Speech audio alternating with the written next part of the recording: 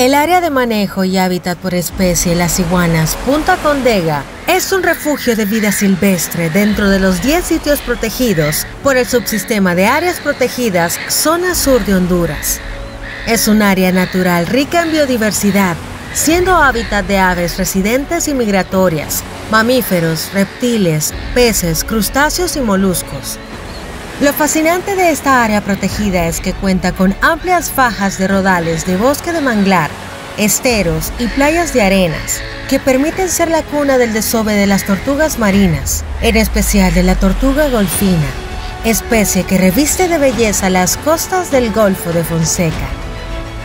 Esta tortuga marina es una especie protegida debido a su importancia ecológica y a su estado vulnerable de conservación, por lo que comunidades unen esfuerzos e inciden en la conservación y protección de la tortuga golfina, con el mantenimiento de campamentos tortugueros en Cedeño y El Venado.